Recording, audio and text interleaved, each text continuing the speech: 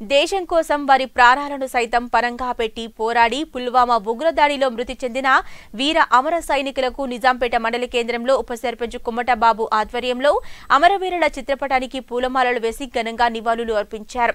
ఈ సందర్భంగా వారు మాట్లాడుతూ భారతదేశంలో భారతీయులంతా ప్రశాంతంగా జీవితం కొనసాగిస్తున్నారంటే దానికి మూల కారణం భారత సరిహద్దుల్లో పోరాడుతున్న మన భారత జవానులని అన్నారు.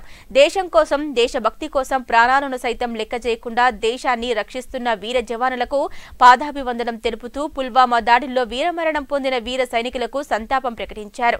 ఈ కార్యక్రమంలో ఏఎస్ఐ ప్రతాప్ కిష్టారెడ్డి గురుగుల శ్రీనివాస్ తమ్మలి రమేష్ జీబీ స్వామి సిద్దిరామరెడ్డి జాలా పోచయ్య మహేష్ రాజగోపాల్ రాజు తదితరులు పాల్గొన్నారు. భారతదేశ ద్వితీయ ప్రధాని లాల్ బహదూర్ శాస్త్రి గారు చెప్పినట్టు ఈ దేశానికి అత్యంత ముఖ్యమైనటువంటి వ్యక్తులలో ఒకటోసారి ఇచ్చినటువంటి జై జవాన్?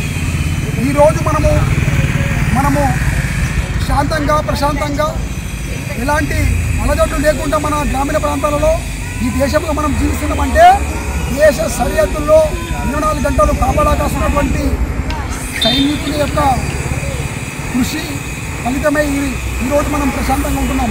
మరి ఆ దాడిలో వీరమరణం పొందడం జరిగింది.